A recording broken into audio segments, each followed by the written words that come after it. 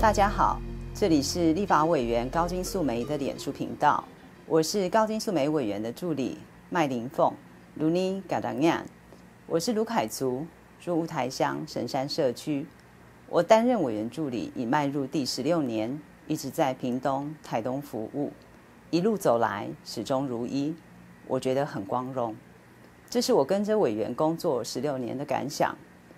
这几天。立法院教育文化委员会因为校园禁用瘦肉精美猪及加工品提案被执政党立为否决，引起社会议论。我们认为这已经不是议案讨论，这是典型的政党立场对决。开放美国瘦肉精猪进口的执政党，即使是碰到保护学童幼儿不要吃到瘦肉精猪肉的提案，都一律举手否决。维护学童幼儿健康的大事，抵触执政党的利益，执政党立委选择牺牲学童幼儿的健康，这就是政党立场、政党包袱。这也是为什么身为原住民族立委的高金素梅始终是无党的身份，因为只有无党，才有原住民族主体性。重看今年年初选举前高金素梅委员在选战高峰会的结论发言。感触良多，我要再次呼应一次委员的话：只有无党，才有原住民族主体性。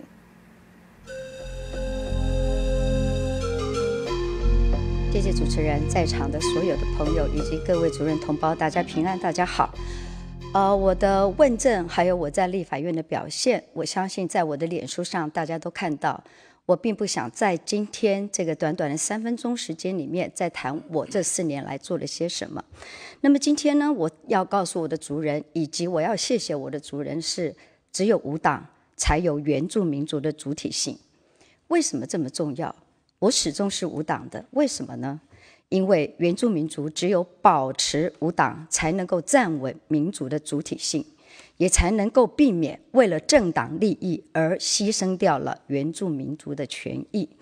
我就用一个实际的例子来说明，族人同胞，您就会非常的清楚了解，为什么保持无党对原住民的政治人政治人物来说是非常的重要。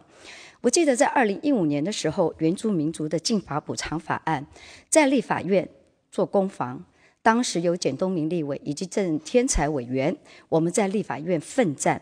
同年的八月十一号，当时在野的民进党族群事务部主任一将巴路尔，他发声明的说：“他说，民进党拒签禁法补偿条例草案，是因为这个法案是前坑法案，所以民进党要为国库审慎把关。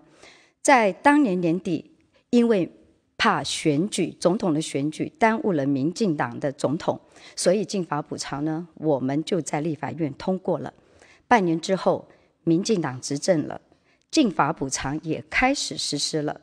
今年我们在很多浮选的场合，我们看到了原民会主委一将拔路儿，他上台致辞，他宣扬禁法补偿是民进党执政对原住民最大的政绩。当年民进党的主任一将八路尔，他谴责禁法补偿是前坑法案。现在原民会主委一将八路，他宣扬禁法补偿是民进党执政最大的政绩。同一个一将前后不同的民族立场，为什么？这就是政党利益凌驾了民族的权益，政党的立场优先于民族的立场。从政以来，高金素梅始终坚持无党。我始终认为，原住民族只有抛开政党，保持无党，才能够站稳民族的主体性，也才能够坚持捍卫原住民族的权益。在这里，我要谢谢我的族人同胞，我们非常骄傲的，我们打破了历史。高金素梅是无党的，连续五届十八年在立法院，我相信族人看到我是如何捍卫原住民的权益。我支持平埔同胞回到原住民族的大家庭。我反对原住民族分为山原、平原。不管是山原、平原、平埔的区分，其实都是殖民者的分化，而被分化却是我们原住民历史百年的伤痛。有少数的人反对平埔族同胞回复原住民的身份，这是生怕政府给予的资源被稀释了。其实这就是典型的殖民的分化，用控制资源来分化原住民族，不管是山原、平原、平埔，我相信我们只有团结在原住民的大家庭的之下，成立了自治区，收回自治区里面的自主财源，这个样子才不会掉入执政者的分化陷阱。很多族人说。在原住民的传统领域，我们为什么不能够成立原住民的自治区？而我们为什么不能够收回林务局？我们为什么不能够收回国家公园？我们又为什么不可以收回国家风景区？收回了这些，我们就会有了自主财源，自己管理、自己分配，我们不用再被分化。近一百年来，原住民的历史是一段被殖民史。是一生被分化的百年创伤，我们需要时间来补破网，但是我们必须要先团结，不要被分化。